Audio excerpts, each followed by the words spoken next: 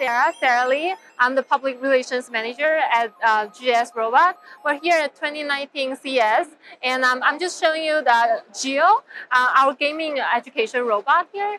Um, and and so so GEIO is, is our gaming robot that, that's embedded with a, um, a visual uh, recognition system, and it has a first-person view over here.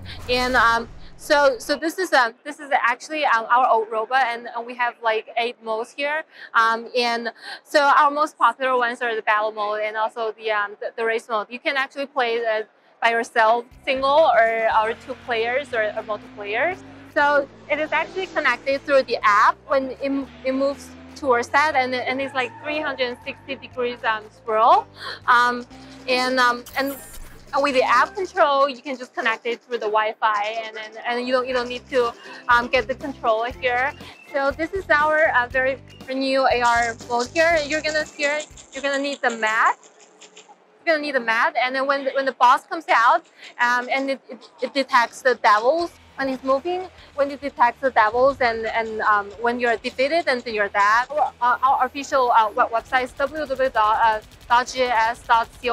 Yeah, we're actually available on, on Amazon and the retail place is, uh, is, is $199.99.